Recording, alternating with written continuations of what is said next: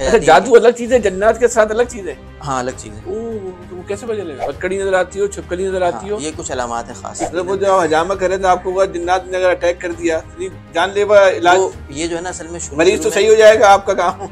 लोगों के बाल गिर गए हैं। हाँ। आप उन बालों को वापस भी ला सकते हैं। हाँ लेकिन उसमें एज की लिमिट है। आप ये जो क्लिनिक खुले में बाल लगाओ सब बन जाएँगे तो अगर आप जितनी मोटी खवातीन है उनको परेशान होने की ज़रूरत नहीं है। हजामा में उनका इलाज मौजूद है तीन सेशन में निमट देंगे। दवा मैनेज कर रही है हजामा इलाज कर रहा है। हाँ। ना करें यार देखें आप शुगर की दवा मैनेज ही करती पूरी ज़िंदगी खाते रहे कभी ठीक नहीं होगी। हिजामा उसको नीचे लाएगा ब्लड प्रेशर को शुगर को भी नीचे लाएगा। ऐसा कौन सा मर्ज है जिसका मुकम्मल सौ फ़ीसद इलाज जो है वो इसमें मौजूद है? बहुत सारे शादीशुदा जोड़ों में बच्चा पैदा नहीं हो पा रहा या ज़्यादा उम्र के लोग जाते हैं। जी। हाँ उनकी सलाहियतों में थोड़ी कमी आ रही है। जी हाँ जी। इसका भी इलाज है? बहुत अच्छा इलाज है। अच्छा इनफर्टिलिटी के हमारे पास काफ़ी केसेस आते हैं।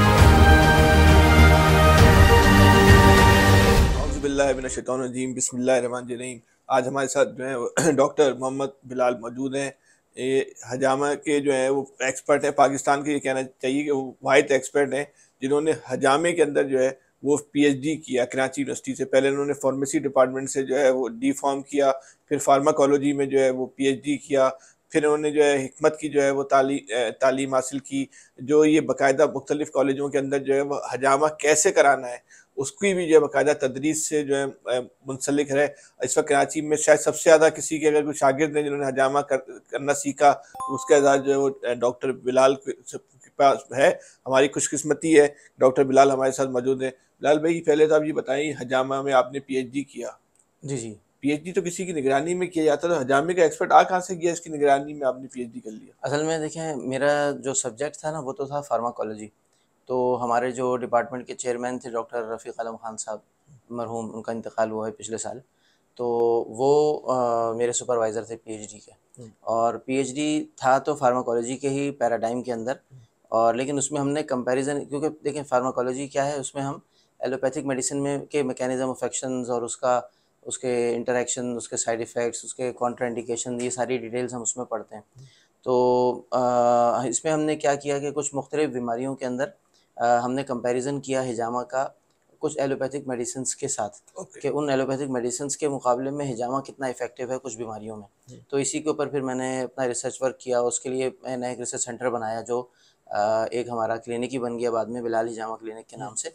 और मैंने उसके लिए टीचिंग को छोड़ा उससे पहले मैं टीचिंग कर रहा था वहीं कराची यूनिवर्सिटी में 2011 तक मैं पढ़ाता रहा हूँ बाकायदा। क्या चीज़ पढ़ाते थे फार्माकोलॉजी फार्मा तो वैसे उस वक्त तक मेरा सब्जेक्ट जो था वो फार्माकोलॉजी ही था।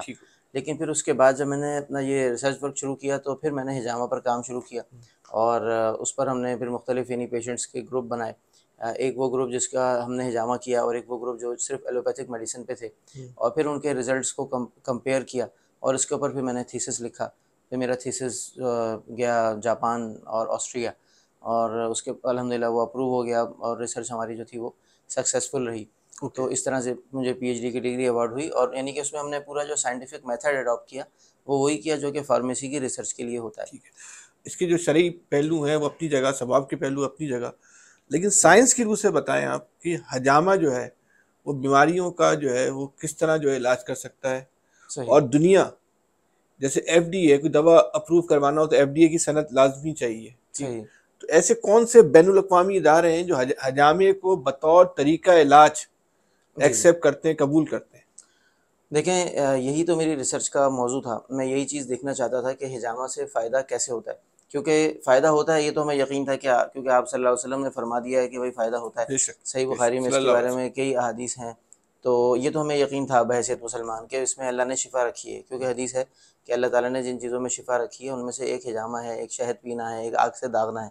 मुख्तलिफ़ हदीस में मुख्तलिफ़ चीज़ों के बारे में बताया गया जैसे एक कलौंजी के बारे में भी हदीस है कि वो मौत के अलावा हर मर्ज़ की शिफा है। सना मक्की के बारे में भी हदीस हैं शहद के बारे में अलग से भी हैं। तो हिजामा की एक ऑथेंटिसिटी तो ये हमारे पास पहले से ही थी। अब इसको मैं ये साइंटिफिकली ही इस चीज़ को मैं इवेल्युएट करना चाहता था कि हिजामा जो है वो कैसे इफ़ेक्टिव है और किस तरह से इसका मैकेनिज़्म ऑफ़ एक्शन क्या है। तो उस मकसद के लिए हमने मैं आपको एक मिसाल देता हूँ कि हमने नौ डिज़ीज़ को मुंतखब किया था अपनी रिसर्च के लिए। उसमें से एक जो डिज़ीज़ थी वो थी क्रॉनिक रीनल फेलियर और क्रॉनिक रीनल फेलियर का मतलब ये होता है कि जिन लोगों के गुर्दे जो हैं वो आहिस्ता आहिस्ता नाकारा होते जाते हैं और वो काम छोड़ देते हैं। गुर्दे? गुर्दे। अच्छा। तो वो लोग डायलिसिस पे आ जाते हैं। उनको हम कहते हैं क्रॉनिक रीनल फेलियर के पेशेंट्स यानी जिनके किडनी फेल हो जाते हैं। तो हमने उन पेशेंट्स का हिजामा किया। उन मरीजों का इलाज हो गया हजामा से? हम्म। हाँ। उनको बाद में डायलिसिस नहीं करवाना पड़ा। पेशेंट्स की ओवरऑल कंडीशन बहुत बेहतर हो गई। मतलब वो पेशेंट जो पहले बिस्तरों पे पड़े होते थे वो किसी काम के काबिल नहीं थे वो कुछ खा नहीं सकते थे उनको उल्टी हो जाती थी उनको नींद नहीं आती थी उनका ब्लड प्रेशर बहुत हाई रहता था। तो उनकी ये सारी चीज़ें बहुत बेहतर हो गई। ये मतलब ये आप हम्म, कंडीशन तो बेहतर कर सकते हैं लेकिन डायलिसिस से जो है वो किडनी के पेशेंट बाहर नहीं आएँगे। नहीं किडनी ऐसा कौन सा मर्ज है जिसका मुकम्मल सौ फ़ीसद इलाज जो है वो इसमें मौजूद है? बहुत सारे हैं। उनमें सबसे सर फहरिस्त जो है ना वो पेन है। हर किस्म का पेन यानी चाहे वो शैटिका हो माइग्रेन हो सर्वाइकल का पेन हो मस्कुलर स्पेजम हो आर्थराइटस हो ऑस्टियोआर्थराइटिस हो या रोमेटॉइड आर्थराइटस हो, इसी तरह से नर्व का पेन हो, जिसको हम न्यूरोलजिया कहते हैं। चाहे वो यानी एक एक नर्व एक एक, एक बड़ा मशहूर पेन है जिसको बोलते हैं ट्राइजमाइनल न्यूरल्जिया। एक नर्व होती है ट्राइजमाइनल नर्व जो यहाँ होती है इस जगह पे ना कनपटी से आ रही होती है इस तरफ़ जाती है। जो ब्लॉक हो जाए तो लकवा हो जाता है। तो लकवा भी ठीक हो जाता है अलहमदिल्ला जामा से बहुत पेशेंट्स का ठीक हुआ है हमारे पास। हाँ मुकम्मल। अगर जल्दी करा लिया जाए तो दो तीन सेशन में ठीक हो जाता है। यानी अगर लकवा होने के एक हफ़्ते के अंदर अंदर करा लिया जाए तो दो से तीन सेशन में ठीक हो जाता है अलहमदिल्ला और इसी तरह से फालिज भी हमारे पास पेशेंट्स का ठीक हुआ है।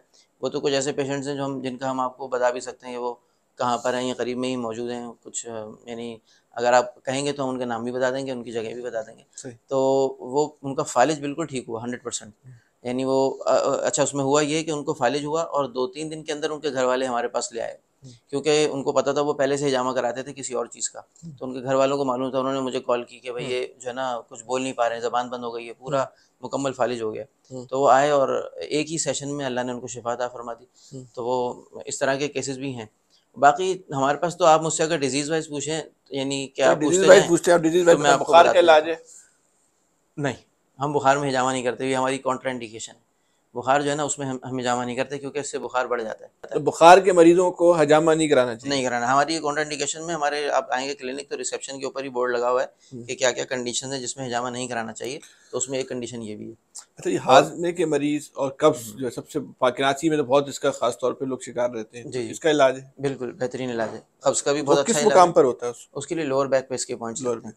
बिल्कुल लोअर बैक पे क्योंकि देखें लोअर बैक से यानी जो हमारी नर्व्स ओरिजिनेट होती है ना आ, जो आखिरी के रीढ़ की हड्डी के मोहरे होते हैं तो वो नर्व्स कंट्रोल कर रही होती हैं बाउल मूवमेंट को। तो वहाँ से जो है ना जब हम हिजामा करते हैं तो नर्व्स की कंडक्शन बेहतर हो जाती है उसके नतीजे में बाउल मूवमेंट अच्छी हो जाती है कॉन्स्टिपेशन रिलीव हो जाता है। अच्छा सिर्फ़ कॉन्स्टिपेशन रिलीव नहीं होता कॉन्स्टिपेशन भी ठीक होता है। अगर पाइल्स का इशू है जो उससे अगला स्टेज है तो वो भी ठीक हो जाता है हेमरॉइड्स बवासीर जिसको हम कहते हैं।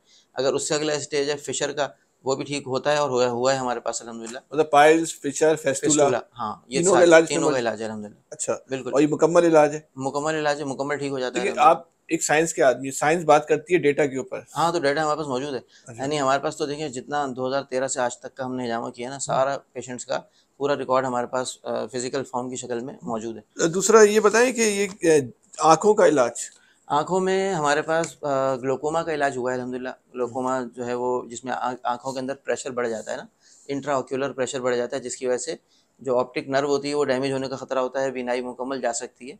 तो ये अलहमदिल्ला हमारे पास कई पेशेंट इसके ठीक हुए आई साइट कई लोगों की इम्प्रूव हुई डेटा क्या कहता है? डेटा यही कहता है कि इसमें इंप्रूवमेंट आती है अलहमदिल्ला एक तो बहुत आप बड़ी बीमारी चले जैसे किसी का निगाह है उसका चार नंबर आई साइड है ना? बेहतर हो सकती है। आई साइड बेहतर हो सकती है। नंबर अच्छा, नंबर कम हो जाएगा। देखिए हमारे पास ऐसा भी हुआ है कि मोर देन सिक्सटी ईयर्स के पेशेंट का चश्मा उतर गया बिल्कुल साफ़ नज़र उनकी सही हो गई और ऐसा भी देखा है हमने कि सात साल के बच्चे का हमने किया जामा और कोई फ़र्क नहीं पड़ा। उसके मुकम्मल कर दिया। अच्छा उन बुज़ुर्ग के हमने दो तीन सेशन किए थे। इस बच्चे के हमने सात सेशन किए। हमारे normally three to seven sessions होते हैं हर बीमारी में। तो सेवन सेशन अमूमन मैक्सिमम होते हैं। तो बच्चे के हमने सात कर दिए लेकिन ज़रा सा भी फ़र्क नहीं पड़ा।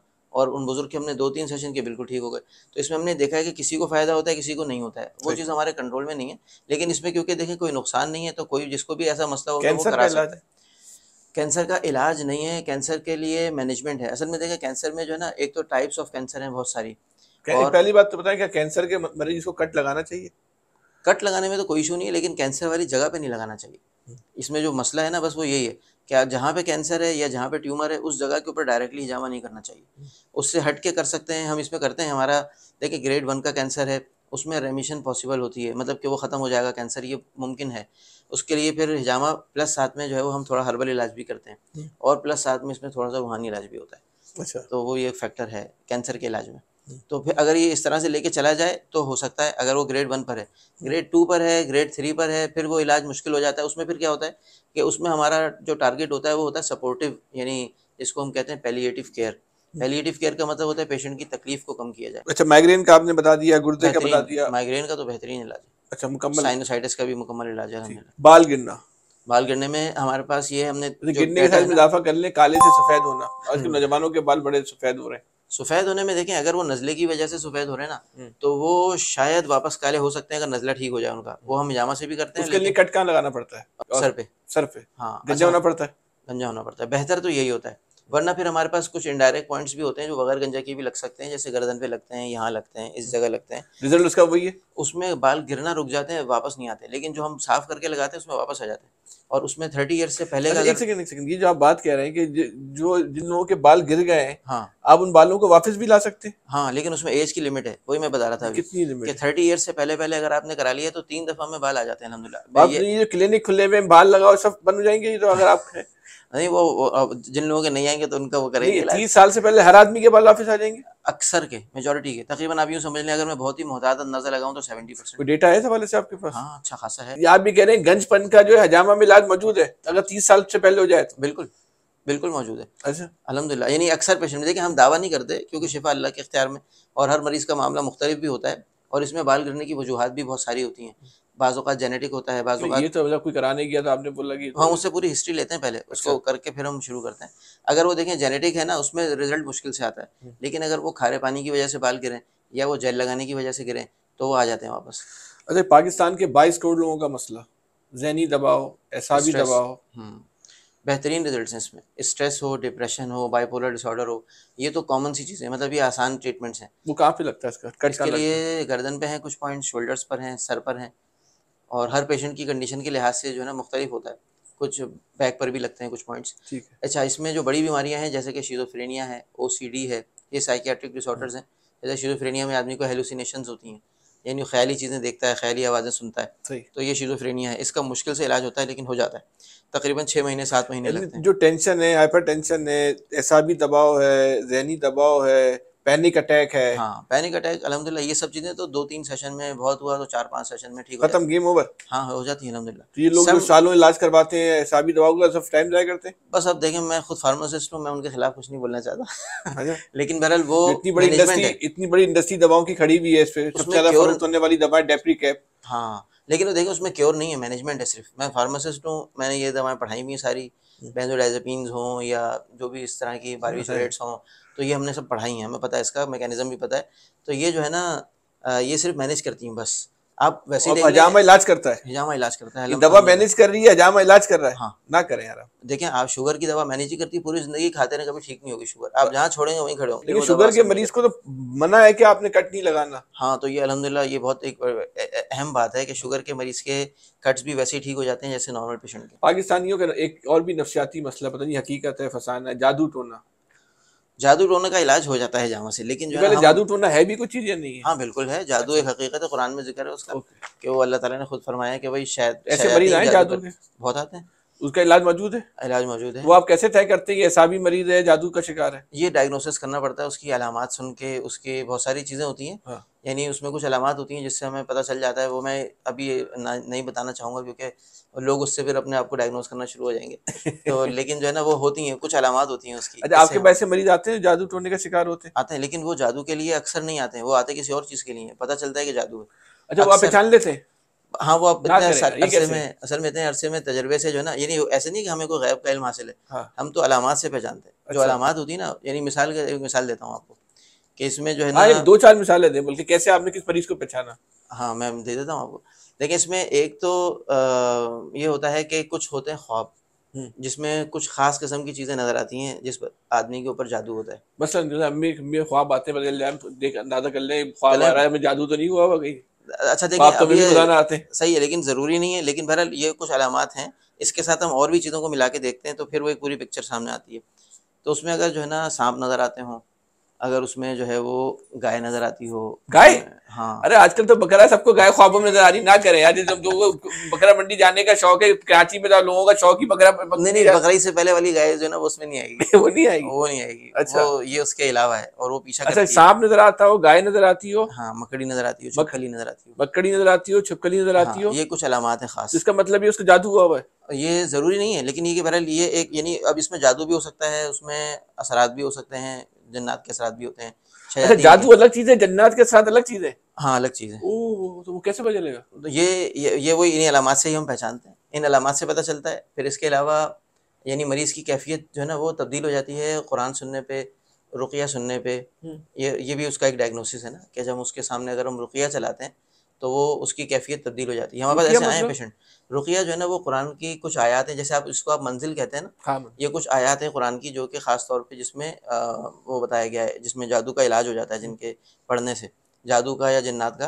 तो उसके अंदर सूर्य बकरा की कुछ आयात हैं सूर्य आराफ की हैं सूर्य यूनुस की हैं सूर्य तोहा की हैं वो कुछ मखसूस आयात हैं। अच्छा जिन्नात का इलाज भी इसमें मौजूद है? जन्नात का इलाज इसमें है बिल्कुल हमारे पास हुआ भी है और कुछ ऐसे केसेस भी आए हैं जो कि बिगड़े भी हैं वहाँ पे यानी बिगड़ने से मुराद है कि वो उनके अंदर जो चीज़ थी वो बिगड़ गई। हजामे के दौरान हाँ। ना करें यार। हाँ, एक दो। तो बताएँ अच्छा, मैंने भी सुना था एक बंदा हुआ हजामा करने वाला भी मर गया ऐसा भी कोई वाकया हाँ ये हुआ है। ये सही वाकया है? हाँ मैं लेकिन ज़ाहिर मैं उन फर्द का नाम नहीं बता सकता। नहीं नहीं ना बताएँ। वाकया बताएँ बस वो कर रहे थे हिजामा और और जो है वो उसी दौरान में अचानक यानी किसी मरीज़ का हिजामा किया। और फ़ौरन ही जो है ना डेथ हो गई। ऐसे दो केसेस हैं।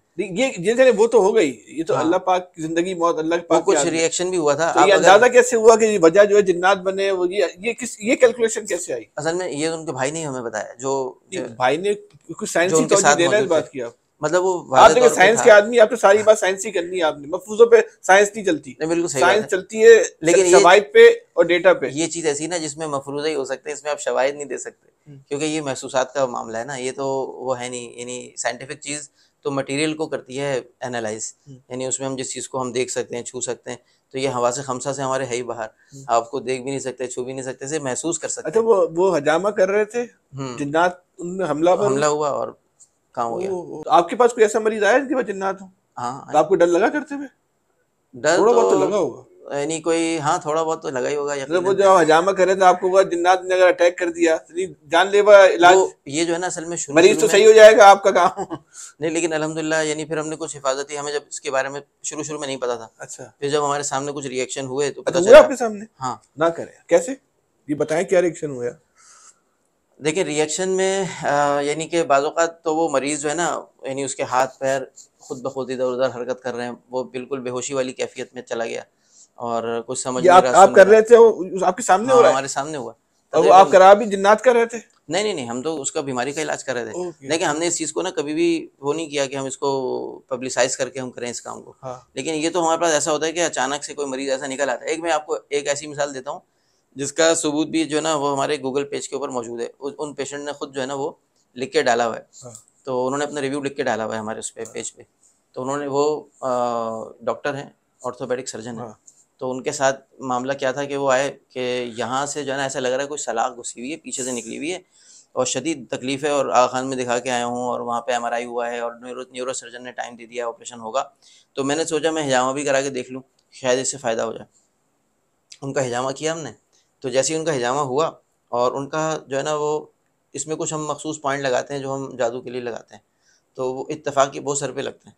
तो इतफाक़ की बात है कि वो अपना बाल साफ़ करवा के ही आए थे। अब पता नहीं, और हालाँकि वो फ़र्स्ट टाइम आए थे। कहने लगे, मुझे पता नहीं था, मैंने सोचा शायद सर पे भी होता होगा। तो मैं साफ़ करा के आ गया हूँ बाल। तो हमने उनका सर वाला पॉइंट भी लगा दिया। साथ में दर्द के लिए लगाया और सर का भी लगा दिया।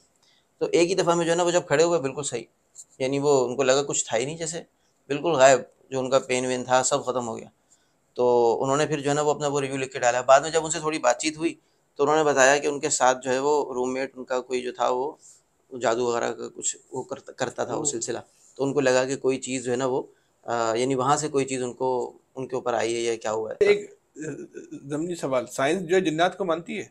नहीं क्योंकि साइंस उसको प्रूव नहीं कर सकती ना। तो तरीका इलाज जब एक चीज़ को साइंस ही नहीं मानती तो उसका तरीका इलाज कैसे हो सकता इसमें देखें हिजामा के हवाले से अगर हम बात करें ना कि हाँ। इलाज के हवाले से तो हिजामा जो है ना ये क्योंकि हम इसको सुन्नत तरीका इलाज के तौर पे देखते हैं हम्म। तो ये जिस्मानी इलाज भी है रूहानी इलाज भी है हम्म। और अब ज़ाहिर है जो रूहानी पहलू होते हैं ना वो हमारे यानी क्या कहना चाहिए कि हम उसको साइंसी पहलुओं। पे हावी होते हैं साइंसी पहलुओं से बाहर होते हैं वो यानी अच्छा ये बताएँ कि अमूमी तौर पर एक इशू होता है शादीशुदा जोड़ों में बच्चा पैदा नहीं हो पा रहा या ज़्यादा उम्र के लोग जाते हैं जी हाँ उनकी सलाहियतों में थोड़ी कमी आ रही है। जी हाँ जी हाँ। इसका भी इलाज है? बहुत अच्छा इलाज है। अच्छा इनफर्टिलिटी के हमारे पास काफ़ी केसेस आते हैं। हाँ। मेल इनफर्टिलिटी के भी फीमेल इनफर्टिलिटी के भी। हम्म। तो मेल में जो है वो अमूमन दो इश्यूज़ आते हैं बहुत उसका जामा कहाँ पर होता है? किस स्पॉट उसके लिए तीन तरह से हम टारगेट करते हैं। एक मसला होता है ब्लड सर्कुलेशन का हम्म। तो उसके लिए डायरेक्ट फ्रंट पे लोअर एब्डोमिन पे पॉइंट्स होते हैं। और एक उसका ताल्लुक होता है नर्व से हम्म। तो उसके लिए जो लोअर बैक है आपकी। जहाँ से सैक्रल रीजन से वो नर्व्स निकलती हैं जो कि जेनेटल्स को वो करती हैं नर्व सप्लाई देती हैं। हम्म। एक हम उसको टारगेट करते हैं। और तीसरा उसका ताल्लुक होता है दिमाग से। हम्म। क्योंकि वहाँ से भी जो है ना वो ज़ाहिर सब चीज़ें कंट्रोल हो रही होती हैं। तो आ, हम उसके लिए फिर ब्रेन को भी टारगेट करते हैं। उसका ताल्लुक वो उस सूरत में होता है कि अगर उसमें पेशेंट के अंदर जो है वो डिज़ायर ना हो जिसको कहते हैं लॉस ऑफ़ लिबिडो तो अगर लॉस ऑफ़ लिबिडो है तो फिर उस सूरत में जो है वो हम सर वाले पॉइंट भी लगाते हैं। जिसकी डिज़ायर ना डिज़ायर भी पैदा कर लेते हैं हजामे के ज़रिए। मतलब वो डिज़ायर उसकी लॉस हुई हो किसी वजह से ना मतलब वो भी नर्व का ही डैमेज होता है तो वो चीज़ ठीक हो सकती है। अच्छा। बिल्कुल। इस सही सब चीज़ों का वहाँ इलाज जो है मौजूद है। अक्सर चीज़ों का देखें सब चीज़ों का नहीं है मैं ये नहीं कहता कि हर चीज़ का है क्योंकि अच्छा एक बात ये बताएँ कि हजामे के कोई जो है वो साइड इफ़ेक्ट है? हजामा के साइड इफ़ेक्ट्स बहुत मामूली से होते हैं वो हर एक को नहीं होते किसी किसी को होते हैं। जैसे लोगों मिसाल को होते हैं? हाँ मैं बताता हूँ। जैसे एक उसका साइड इफ़ेक्ट ये होता है कि मिसाल के तौर पे हमने पेन का हिजामा किया पेन के लिए। हम्म। अब उस उस मरीज़ का पेन हो सकता है कि थोड़ी देर के लिए बढ़ जाए। अब ये किस सूरत में होगा कि अगर हमने जिस पॉइंट के ऊपर हिजामा किया है हम वहाँ से जो ब्लड निकालते हैं वो होता है काफ़ी हद तक जमा हुआ ब्लड ऑलमोस्ट जो है वो स्टेगनेंट ब्लड होता है वो। तो वो पूरी पूरी तरह निकलता नहीं है फ़र्स्ट टाइम पे। तो अब जो रह जाता है ना वो अंदर थोड़ा सा थोड़ी देर के बाद वो फिर मोबिलाइज होता है। वहाँ ब्लड सर्कुलेशन बढ़ जाती है तो वो ब्लड आहिस्ता आहिस्ता एक आसान अल्फाज में कहूँ तो पिघलता है। तो वो फिर प्रेशर डेवलप करता है वहाँ पर तो वहाँ पर दर्द जो है वो बढ़ जाता है। तो हम ये बात मरीज़ को बता देते हैं कि अगर पहली मरतबा हिजामा के बाद आपका पेन बढ़ जाए तो आप परेशान ना हो क्योंकि ये जो है ना एक आध दिन के लिए बढ़ता है और फिर उसके बाद ये वापस नीचे आ जाता है। और उसके बाद जब हम रिपीट करते हैं सेम पॉइंट्स को एक हफ़्ते के बाद या दस दिन के बाद तो फिर ये सारा ब्लड निकल जाता है उसके बाद रिलीफ हो जाता है। तो ये वक्ती तौर पे होता है। अच्छा एक सवाल मैं आपसे पूछना भूल गया ये खवातीन का बहुत बड़ा इशू मोटापा। सही सही। बिल्कुल ये खवातीन के लिए आप बताएँ आम मर्दों को तो इशू नहीं है मोटा हो पतला हो। हाँ, औरतों का मर्दों को भी बहुत है। अच्छा मर्दों को भी है। तो आप हमारे पास मर्द हज़ात मेरे पास तो ज़्यादातर मर्द हज़ात आ रहे होते हैं आप खवातीन खवातीन का बताएँ लेडीज़ सेक्शन में। तो खवातीन मतलब ये तो मोटापा चाहे खवातीन का अच्छा हो एक या ही मर्दों का का हाँ दोनों में जो है ना वो अच्छा खवातीन में अलबत्ता उसमें कुछ और भी चीज़ें ऐड हो जाती हैं जैसे हार्मोन्स का भी इशू होता है बाज़ात सबसे वजह से भी जो है ना। हाँ उसकी वजह से भी कई बच्चों की पैदाइश हो चुकी है उसके इम्पैक्ट है। बिल्कुल उसका भी है। थायराइड का अक्सर हो जाता है। थायराइड हाइपोथायरॉयडिज्म होता है तो वेट गेन होता है उसमें। और हाइपोथायरॉयडिज्म का इलाज हिजामा से बहुत अच्छा है। अच्छा। दो से तीन सेशन में ठीक हो जाता है अलहमदिल्ला मतलब एक बात मैं आपसे बहुत इसका आसान और सादा लफ्जों में सवाल पूछूँगा आसान और सादा लफ्जों में जवाब दें। जी जी। जितनी मोटी खवातीन है उनको परेशान होने की ज़रूरत नहीं है। हजामा में उनका इलाज मौजूद है। तीन सेशन में निमट निपटा देंगे आप। तीन सेशन में अगर वो थायराइड की वजह से है देखिए वजूहत अलग अलग होती है ना। वो अगर मैक्सिमम कितना अरसे आना पड़ेगा? मैक्सिमम सात मरतबा। सात मरतबा। एक गैप कितना हो? एक दो हफ़्ते का। दो हफ़्ते का यानी कि चौदह हफ़्ते में? चौदह हफ़्ते में। चौदह हफ़्ते में जो है चौदह हफ़्ते का साढ़े मतलब तीन महीने का कोर्स साढ़े तीन महीने में जो जो लोग जो महीने लाखों रुपए लगा के जिम जाते हैं उसकी ज़रूरत नहीं है मतलब साढ़े तीन महीने में जो है। हम इसको जनरलाइज नहीं कर सकते। हाँ। अब कुछ लोग ऐसे होते हैं ना जो कि जिनका वेट बहुत ही ज़्यादा है यानी किसी का पाँच दस किलो ज़्यादा है। साढ़े छह महीने में हो जाएगा। हाँ हो जाएगा। हमारे पास देखिए मैं बताऊँ ना कितना वेट लूज हुआ है लोगों का हम्म। तीस किलो लूज किया है चालीस दिनों में लोगों ने डाइट के साथ हिजामा प्लस डाइट एक डाइट प्लान भी हम देते हैं। डाइट प्लान तो फिर तो लोग घर पे जो जो मोटा तो वही हो रहा है डाइट पे हम तो पहले डाइट देते हैं। हम कहते हैं भाई हिजामा नहीं कराते पहले डाइट कर लो। अच्छा। उसके बाद अगर नहीं होता उससे कम फिर आ जाओ हिजामा कराने। लेकिन ये कि लोग अमूमन डाइट नहीं करते हैं डाइट बड़ी मुश्किल से करते हैं लोग। अच्छा लेकिन जिन्होंने की है ना हाँ। उसमें हंड्रेड परसेंट रिज़ल्ट है हमारे पास अच्छा। में हाँ। तो चर्बी पूरे आप उसको निपटा दे गुला हाँ? अलहमदिल्ला यानी ये देखें चालीस दिनों में जैसे जिसका तीस किलो कम हुआ हम्म। तो उन साहब का वज़न था वन सिक्सटी के तो ये बड़े बड़े जो ट्रेनिंग फिटनेस सेंटर खुले हुए ना वो भी ये क्लेम नहीं करते होंगे हम चालीस दिन में जो है ना वो नहीं दिन ये ये मैं तो क्लेम नहीं कर रहा हूँ। हाँ। ये तो मैं रिज़ल्ट बता रहा हूँ आपको। हाँ। ये तो वो रिज़ल्ट है जो कि पेट कम हुआ है कमज़ोर हुआ?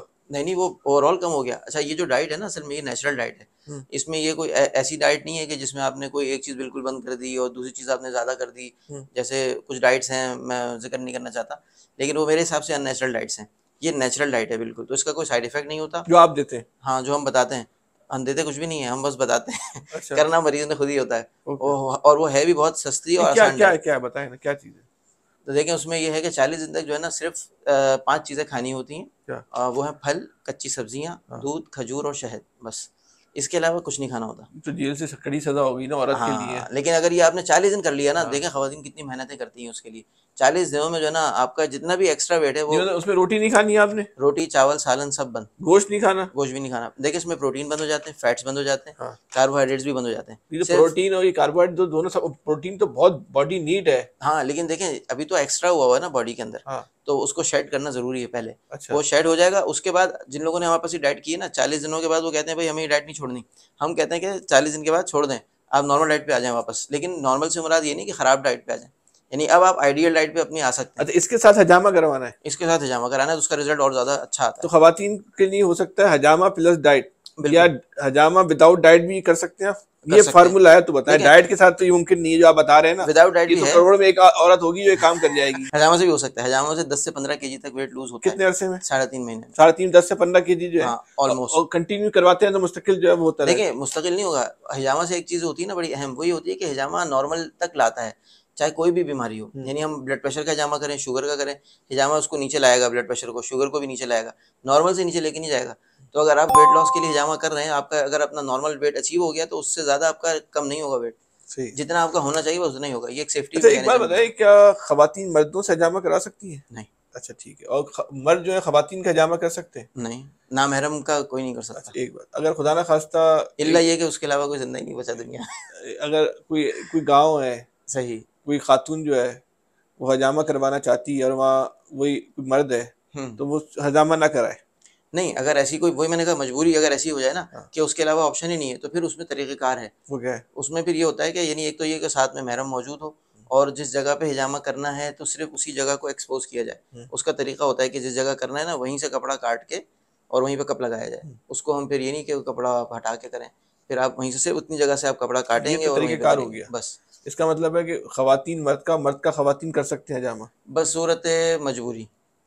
मजबूरी तो मजबूरी के बगैर नहीं कर सकते। मैं जनरल जनरल जो चीज़ है वो ये कि नहीं कर सकते। क्योंकि आप इसमें ज़रा सा भी रास्ता खोलेंगे तो आपको पता है फिर इसमें जो है ना वो मामला बहुत गड़बड़ हो जाएँगे। और बाहर हो ही रहे मतलब ये पाकिस्तान में हम या इस्लामी मुल्कों में भी ये पाबंदी रखते हैं लेकिन बहुत सारे दुनिया के ममालिक हैं जहाँ हिजामा होता है। हम्म। अच्छा तो भी ये- होता ये, ये तो आप इस इस फिलॉसफी के तहत बोल रहे हैं। आप तो इस चीज़ को भी नहीं मानते होंगे ना कि कोई जो है खातून जो है किसी मर्द डॉक्टर के पास जाए। इसके भी आप खिलाफ होंगे। मतलब बसूरत मजबूरी जा सकती है बसूरत जिस तरह बसूरत मजबूरी हजामा करा सकती है हाँ। इस तरह बसूरत मजबूरी जो है डॉक्टर के पास जा जा सकती है। सकती है बिल्कुल। इसी इसी तनाजुर में बोल रहे ना। बिल्कुल बिल्कुल। लेकिन अगर इलाज है तो जा, जा सकती है। तो आपकी अपनी जा। शक्ति है जो आप उसको थोड़ा तकवे का तकाजा या हाँ अच्छा तो यही है। देखें हाँ। अच्छा है क्योंकि फिर फितने का इसमें अंदेशा है। क्योंकि देखें शुरू शुरू में हमने भी ना थोड़ा सा इसमें रिलैक्स रखा हाँ। कि भाई किसी खातून को हाथ का कराना अच्छा है कोई खातून जो है जो लर्निंग है हम्म। वो किसी मर्द मर्द से सीख सकती है हजामा करना? हिजामा करना प्रैक्टिकल्स के अलावा तक बल्कि हम खुद सिखाते हैं। सिखाते हैं ना। हाँ खातन को भी सिखाते हैं लेकिन प्रैक्टिकल हम उनको नहीं कराते। प्रैक्टिकल फिर हम उनको अपनी खातन के पास भेज के करवाते हैं। वो जिन खातन के पास देते हैं उन्होंने किससे सीखा? हमारी बेगम से सीखा। नहीं उन, हमारी वाइफ से सीखा हम तो अपनी वाइफ को हमने खुद सिखाया। नहीं वो तो चले एक केस हो गया ना? हर आदमी हजामा करने वाले ने तो अपनी वाइफ को टीचर नहीं बनाया होगा ना? हाँ। तो कहीं तो सिलसिला रुका होगा ना? नहीं उसमें देखें उसमें क्या होता है जितना हम जिस हद तक जा सकते हैं जो हम जाते हैं जिस हद तक हाँ। तो वो ये होता है कि हम उन खवातीन को जो हम जिनको हम सिखाते हैं हम उनको अपने ही हाथ पे कट लगवाते हैं। उनसे कहते हैं आप अपने हाथ पे लगाएँ हमारे सामने। हम्म। ताकि हम खुद देख लें कि भाई आप सही कट लगा रही हैं नहीं लगा रही हैं। बात का मतलब है खातन से कराने में एहतियाती करनी चाहिए उनका सीखना सिखाना तो हल्का हुआ है। नहीं हल्का नहीं है माशाल्लाह आपने पूरी अच्छा चीज़ें उनको नहीं सिखाई बोला खुद ही अपने हाथ पे लगा के सीख लो। नहीं हमारा हाथ खराब नहीं करना। नहीं देखिए आप वो खातून से अपने हाथ पे रिस्क लेने को तैयार नहीं है। उनसे बोल रहे अपने हाथ पे रिस्क ले ये तो जाती नहीं नहीं जो हम मर्दों को भी सिखाते हैं तो उसमें अच्छा। हम उनके हाथ पे पहले कट लगवाते हैं। अच्छा। देखिए हमारा जो प्रोसेस सिखाने का होता है ना वो हाँ। होता है कि सबसे पहले तो उनको पूरी थ्योरी पढ़ाते हैं। हम्म। अब वो थ्योरी में दोनों शरीक होते हैं। हम थ्योरी पूरी पढ़ाते हैं उसके बाद हम उसमें जो जैसे मिसाल के तौर पे हमारा सामान है हम्म। जो भी आपको हम दिखाएँगे इनशाला हाँ। तो उसके अंदर वो कैसे इस्तेमाल करनी है चीज़ें कब कैसे इस्तेमाल करना है कट कैसे लगा वो ब्लेड को होल्डर में कैसे लगाना है क्योंकि हम सर्जिकल ब्लेड यूज़ करते हैं तो वो इतना आसान अच्छा गैर मुस्लिम हजामा कर सकते हैं गैर मुस्लिम हजामा कर रहे हैं पूरी दुनिया में बहुत लोग कर रहे हैं हजामे के नाम से कर रहे हैं? नहीं वो कपिंग थेरेपी कहते हैं इसको। कपिंग थेरेपी वो ज़ाहिर है वो लोग इसको कपिंग थेरेपी हजामा तो हम उसको उर्दू जबान में बोलते हैं हाँ, इंग्लिश में में- कपिंग थेरेपी बोल हाँ, लेंगे फारसी हाँ। में कुछ और बोलते होंगे। अरबी में हिजामा बोलते हैं अरबी में हजामा बोलते हो हाँ। तो कपिंग थेरेपी हजामा तो हजामा ही है ना। जी हाँ जी हाँ नहीं हाँ लेकिन वो लोग ज़ाहिर है कि उस सोच से नहीं करते हाँ। कि ये कोई सुन्नत इलाज है वो तो बस एक इलाज के तौर पे करते ये आप बताएँ सर कि बिलाल भाई के हर आदमी हजामे की दुकान खोल के बैठ गया ये कैसे पता चलेगा हम जिसके पास जा रहे हैं वो सही है दो नंबर है एक नंबर है कोई सर्टिफिकेशन नहीं है कोई कोर्स नहीं है? अब जो है ना गवर्नमेंट ने एक तो- लीगल बाउंडिंग कर दी है। पहले नहीं थी बिल्कुल भी कुछ भी नहीं था। अब यह है कि यानी ये पाबंदी तो मौजूद है लेकिन उसको फॉलो कोई नहीं कर रहा है। इम्प्लीमेंट आहिस्ता आहिस्ता हो रहा है अभी ये रिसेंटली बना नहीं, है मैं ये हजामा कराने जाना है। जब मैं किसी इलाज कराने जाता हूँ उसके देखता हूँ डॉक्टर है वो एम है हम्म। उसको पाकिस्तान मेडिकल डेंटल काउंसिल ने जो रजिस्टर्ड किया हुआ है। सही। तो मैं हजामा के लिए जब देखने जाऊँ तो मैं कैसे चेक करूँ कि अच्छा इसमें असल में हिजामा जो है ना वो तिबिया कॉलेजेस के कोर्स में शामिल है हम्म। यानी जो हिकमत का कोर्स होता है उसमें हिजामा मौजूद है हम्म। अलबत्ता उसकी बहुत ज़्यादा एक्सपर्टीज़ नहीं है तो जिसकी वजह से अलग से कोर्स कराया जा रहा है जो मैंने भी आपको बताया कि मैंने भी करवाया है हम्म। तो अब वो ये शुरू हुआ है सिलसिला तो अब उसके लिए सर्टिफिकेट मिलता है। हम्म। और वो अपने पास सर्टिफिकेट लगाने का यानी पाबंद है कि वो लगाएगा कि उसने हिजामा का भी स्पेशलाइज कोर्स किया हुआ है। अच्छा हिकमत वाला जो है कर सकता है? हिकमत वाला कर सकता है जिसके पास या तो बीईएमएस की डिग्री हो या उसके पास एफ़ हो। अच्छा जिसने एमबीबीएस किया हुआ वो हजामा नहीं कर सकता? ऑफिशियली नहीं कर सकता लेकिन कर रहे हैं कर यहाँ तो ऐसे ऐसे लोग कर रहे हैं जहाँ जिन्होंने एम- पढ़ी है हम्म, ना जिन्होंने क्या कहते हैं एमबीबीएस क्या एलोपैथिक पढ़ा जी हाँ कुछ नहीं पढ़ा नहीं तो- पढ़ा ना होम्योपैथिक पढ़ा। जी बोला भाई तो बड़ा अच्छा काम चल रहा है बिज़नेस है पैसे हाँ। ज़्यादा है ये काम शुरू कर दो? मैट्रिक पास लड़के या किसी के और टेक्नीशियन था? टेक्नीशियन तो छोड़े हमारे पास ऐसे सब मरीज़ बन के आए जो मरीज़ बन के हिजामा कराया और वो जाके शुरू हो गए। कि जी हमने सीख लिया हिजामा एक दफ़ा देख के। हालाँकि हम जो कोर्स कराते हैं तो हमारे डॉक्टर्स भी आगे कोर्स करते रहे हैं हकीम करते हैं कोर्स तो हम उनको तीन महीने पढ़ाते हैं। फिर वो बेसिक कोर्स होता है हमारा। फिर उसके बाद हम एडवांस कोर्स भी कराते हैं तीन महीने का। तरीके इलाज को दुनिया एक्सेप्ट करती है? बिल्कुल ये तो चाइना में बहुत अरसे से हो रहा है अमेरिका में हो रहा है यूके में हो रहा है अमेरिका में इसको एफडीए ने अप्रूव किया है? एज ए तरीका इलाज? अमेरिका में ये जो है ना एज अ रिलीजियस प्रैक्टिस हो रहा है। रिलीजियस प्रैक्टिस हो तरीका हाँ। इलाज तो अप्रूव नहीं किया ना फिर एफडीए हिजामा को नहीं किया लेकिन कपिंग थेरेपी को उन्होंने किया हुआ है। कपिंग थेरेपी बात है ना सर कपिंग थेरेपी जो तो इंग्लिश का लफ्ज है ना। कपिंग थेरेपी से मुराद ये है ड्राई कपिंग हाँ। यानी वो जो चाइनीज़ वहाँ पे करते हैं बहुत कॉमन है वहाँ पे तो वो ड्राई कपिंग करते हैं सिर्फ़ आग से जो है वो उसको यानी कप लगाते कट नहीं लगाते। तो वो वाला वहाँ पे लीगल तो है। ऐसे लोग हैं जिन्होंने उनको हमारा रब्ता किया होगा इसको अप्रूव करें। हमारे रास्ते में मेरे कुछ शागिर्द भी हैं जो वहाँ कर रहे हैं अमेरिका में कर रहे हैं डॉक्टर हैं वो यहाँ से एमबीबीएस हुकूमत इजाज़त देती है करने की। वो वही मैंने बताया ना वो रिलीजियस प्रैक्टिस के अंडर में कर रहे हैं वो। और कोई खास बात हजामे के इलाज के हवाले से आप कहना चाहेंगे? हम्म, बहुत सारी चीज़ें हैं। मैं ये कहूँगा कि भाई देखें हिजामा जो है ना वो आप बीमारियों से बचने के लिए भी करा सकते हैं। ज़रूरी नहीं हाँ ज़रूरी नहीं कि आप बीमार होने के बाद कराएँ हमारे पास ऐसे पेशेंट आते हैं जो कि अपनी फुल बॉडी का डिटॉक्स करवाते हैं ऐसे एक मतलब अच्छा ये भी होता है? हाँ यानी कि वो एक मरतबा आए उन्होंने पूरी बैक के पॉइंट्स करा लिए एक मरतबा आए फ्रंट के सारे करा लिए फिर एक मरतबा में सर के करा लिए एक एक महीने के गैप से। एक पेशेंट आते हैं हमारे पास आइसलैंड से आइसलैंड आयरलैंड नहीं आइसलैंड तो वो तीन साल के बाद आते हैं पूरी बॉडी का कराते हैं अपना और फिर चले जाते हैं वो कहते हैं मुझे तीन साल जो मैं रहता हूँ वहाँ पे तो मुझे कोई बीमारी नहीं होती तो पहचान लें। उसका भी बड़ा मसला है कि जो जो उसमें इसको क्या बोले इक्विपमेंट इस्तेमाल होते हैं या जो हाँ। जराई खेल रहे हैं या जो भी इसको हम नाम दे दें। स्टरलाइज होने चाहिए। तो उसका क्या म्यार कैसे चेक करें? देखिए उसके लिए बाकायदा आप जब तो दिखाएँ ना आप लेकर हाँ, आए। मैं दिखाता हूँ। इसमें जो बेसिक चीज़ होती है ना वो तो है हमारा कप और ब्लेड ये किट है जो मैं आपके सामने शो कर रहा हूँ। ब्लेड जो है वो हम इसमें ये इस्तेमाल करते हैं। अच्छा। ये मेड इन जापान ब्लेड है और फेदर कंपनी का है। ये हम शुरू से यूज़ कर रहे हैं 2013 से। हमने कभी भी इस पर अच्छा कॉम्प्रोमाइज़ जो नहीं किया। शेविंग ब्लेड ऐसे नहीं करवाना चाहिए? मुझे तो नहीं सही लगता वरना तो मैं खुद भी कर रहा होता। तो मैंने कभी सस्ता इसको पड़ता है? बहुत सस्ता पड़ता है। ये कितने का एक पड़ता है? ये तकरीबन आप समझ लें पचास साठ रुपए का आपको एक? एक हाँ। अच्छा अगर आप वो तो दो रुपए चार रुपए का पड़ रहा है। वो आपको और वो एक ब्लेड से चार आदमियों का हजामा हो जाता है उसको तोड़ते हैं वो चार टुकड़े हाँ, करते हैं हाँ, हाँ। और एक ब्लेड से चार लोगों का हजामा कर हैं तो उनका तो बहुत ही मैंने किया तो मेरे साथ ऐसे ही हुआ था। अरे इससे मैंने करवाई इससे तकलीफ़ नहीं होती। नहीं होती इसका बहुत ही अच्छा वो है। अच्छा हाँ। हमने ये रखा भी इसीलिए देखिए इसमें चाइना के भी ब्लेड आते हैं बहुत सारे हॉस्पिटल तक में सर्जरी के लिए भी चाइना वाले ब्लेड इस्तेमाल होते हैं। हाँ। मगर अच्छे हॉस्पिटल में यही इस्तेमाल होता है फेदर ये इंटरनेशनल वो है ब्लेड। तो इसमें जो है ना अच्छी बात ये थी कि इसकी शार्पनेस जो है वो सब में एक जैसी रहती है। मतलब हम इसको दस साल से यूज़ कर रहे हैं तकरीबन हमने लाखों यानी देखिए छत्तीस हज़ार पेशेंट के हमने कम से कम दस दस सेशन तो किए ही होंगे। हाँ। तो समझ लें आपके तीन चार लाख सेशन हमारे पास जामा के हुए हैं। तो उसमें हमने कभी ऐसा नहीं देखा कि इसमें कोई फॉल्ट आया हो कि कोई किसी की धार कम है किसी की जो है वो ज़्यादा है।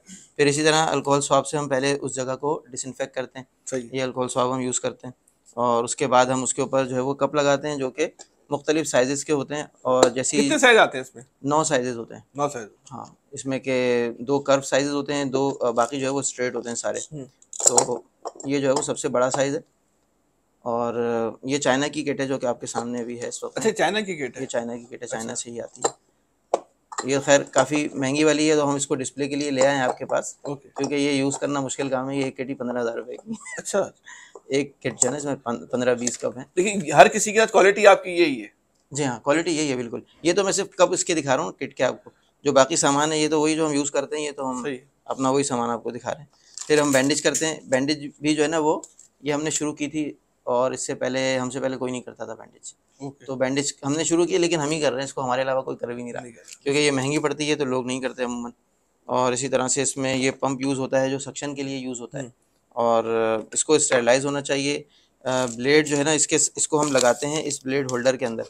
इसको हम करते हैं स्टेरलाइज ये हमारे पास हर पेशेंट के लिए पाउच में पैक इसी तरह से ऑटोक्लेव करके केमिक पहले केमिकल से स्टेरलाइज होता है फिर ऑटोक्लेव होता है और उसके बाद हम इसको? मशीन है। हाँ फिर इसको हम पैक करते हैं। तो ये रीयूज़ होता है लेकिन ये स्टेरलाइज होता है हर पेशेंट की एक एक दफ़ा यूज़ होता है और फिर ये दोबारा चला जाता है स्टेरलाइज होने के लिए। तो हम एक पेशेंट के लिए एक यूज़ करते एक पेशेंट के लिए एक यूज़ होता है। ऐसे कितने आपके पास? ऐसी जमनी सवाल अजीब सा सवाल। तीन सौ होंगे तकरीबन। अच्छा। हाँ। वो हमारी एक चलती रहती है ना साइकिल कि वो यानी हर जगह पे हमारे केबिन्स बने हुए ना अलग अलग पेशेंट्स के लिए। तो सारे केबिन से तकरीबन दस केबिन्स हैं। तो उसमें जो है वो अलग अलग ये यानी ये रखे जाते हैं ये सारा सामान इन्वेंट्री पूरी मैनेज होती है। और जैसे जैसे यूज़ होते जाते हैं वो फिर अलग जमा होते हैं फिर वो वापस चले जाते हैं स्टरलाइज होने के लिए। okay. फिर इसी तरह से हम लेडीज़ के अंदर गाउन भी यूज़ करते हैं वो भी जो है वो आ, उसमें डिस्पोजेबल गाउन भी होते हैं और रीयूजेबल वाले भी होते हैं दोनों तरह के होते हैं जो कि पैक हम यूज़ करते हैं पेशेंट पे। और फिर आखिर में हम बैंडेज जो करते हैं उसको उसके ऊपर जो है वो हम ये टेप लगाते हैं। ये टेप हम इस्तेमाल करते हैं जो कि हाइपो एलर्जेनिक होता है। मतलब इससे एलर्जी नहीं होती। है हम्म। तो ये टेप हम यूज़ करते हैं इससे वो बैंडेज जो है वो सिक्योर हो जाती है। बैंडेज के लिए ऑइंटमेंट भी हम यूज़ करते हैं और इसके अलावा शहद भी इस्तेमाल करते हैं। शहद जो है वो बड़ा बेहतरीन एंटीसेप्टिक है अच्छा कितनी दिन, दिनों में निशान चला जाता है? निशान तकरीबन ऑन एवरेज अगर हम इसमें जो है ना डिपेंड करता है कि कौन से साइज़ का कप यूज़ हुआ है। अगर बड़े साइज़ का कप यूज़ हुआ है तो तकरीबन एक हफ़्ते से डेढ़ हफ़्ते में पूरी तरह निशान जाता है जो हम बैक पे यूज़ करते हैं। अगर हम फेस पे लगाते हैं तो उस पर हम छोटे कप लगाते हैं उसका निशान एक दो दिन में। अच्छा यहाँ जो लगता है इसका निशान एक दिन में चला जाता है। यहाँ जो लगता है इसका निशान तीन चार दिन लेता है कम अज़ कम क्योंकि यहाँ हड्डी होती है तो यहाँ ज़रा निशान गहरा पड़ता है। और पेशेंट टू पेशेंट वेरी करता है स्किन की सेंसिटिविटी पे भी।